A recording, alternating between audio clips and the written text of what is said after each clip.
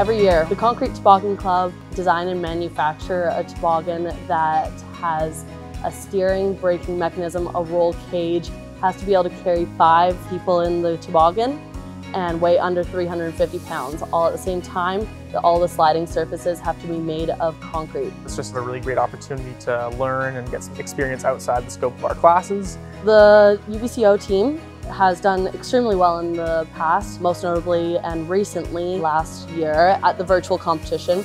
We had the lead steering mechanism and also the lead frame design. We start every year right after competition, which takes place in early February. We choose that year's design team. From there, we work until the end of the summer designing. And then come September, once we're back on campus, we go into the shop and we manufacture the toboggan itself. We do concrete testing, materials manufacturing, and then ski pouring. Once we have that all manufactured in late January, early February, we go somewhere in Canada and compete against approximately 25 other universities, 500 engineers, and for five days. Every year there's a theme that we have at competition. This year we are going to be cows in Cowtown.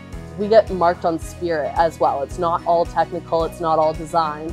It's about having a great relationship with everyone that's at the competition as well. Our members are primarily made up of engineers, obviously. However, we accept people from all disciplines as well as all faculties. Next year in the 2023 competition, UBC Okanagan will be hosting the Concrete Toboggan competition.